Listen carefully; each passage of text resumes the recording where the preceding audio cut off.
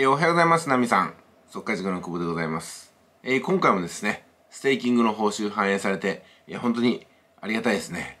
もう5日ごとにこの奇跡が起きるということで、あの、この放送を見てですね、ナミさん、あの、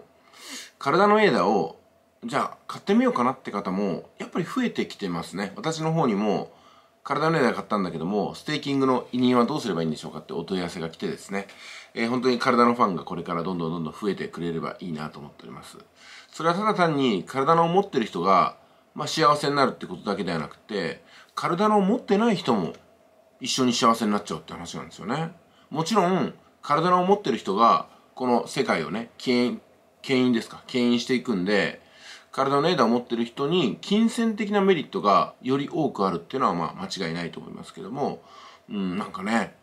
インターネットが始まって世界が変わったって実感が私はありました。あそしてこうやってねビットコインをはじめとする暗号通貨が始まってあ世界が変わったなという実感がありました。そしてついにですねカルダナというそのブロックチェーンですよね。暗号通貨という概念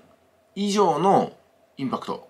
これがねいろんなところに食い込んでいって世界を変えていく。いやこれに立ち会えるなんて本当にラッキーだなと思いましたね、えー、そしてですねその姿を私がこのインターネットインターネットビジネスの世界に入って最初から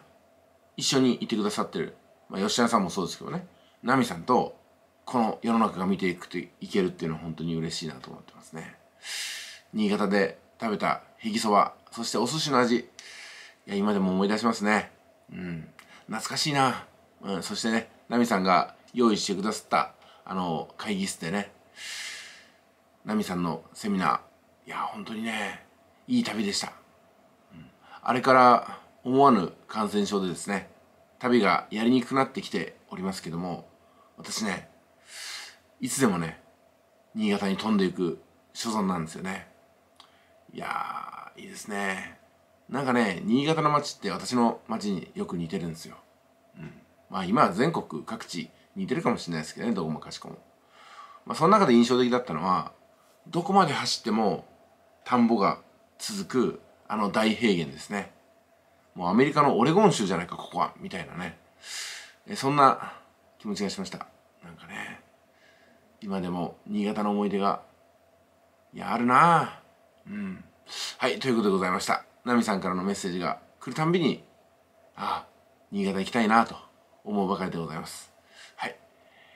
はい、それでですね、あの動画の方まだアップロードできてないのがあるそうなんですけども、不可解ですね。どうなってるんでしょうかね。